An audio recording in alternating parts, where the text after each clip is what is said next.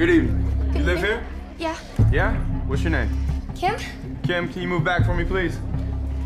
We keep getting complaints of noise and underage drinking. Everybody sit down. We're gonna be here for a while. You don't have anything sharp on you that I can stick myself with, do you? No. Good. Because I do.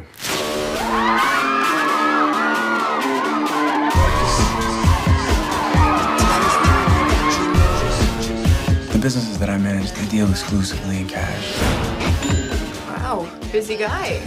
We are welcome to stage the one, the only. Magic Mike.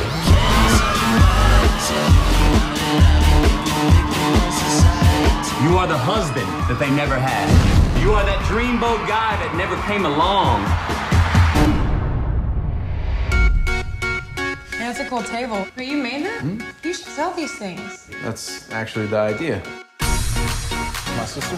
Mike, oh, nice one. Mike. So how do you know my brother? I'm an entrepreneur. I uh, manage a few businesses. I'm Trying to hit on my sister? Okay, uh, good talk. Entrepreneur stripper, stripper entrepreneur. Either one. I was hoping this was all a joke. It's pretty funny. I'm just trying to figure out why stripping. Women, money, and a good time. Just try not to forget about the people who exist in the daylight, the non-vampire. Right. Are we fighting? Is this our first fight?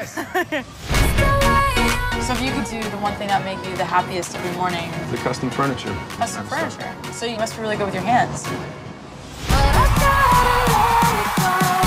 I just can't be around your lifestyle. Am I Magic Mike right now talking to you?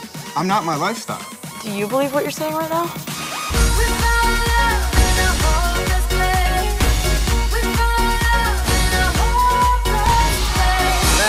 Law says that you cannot touch.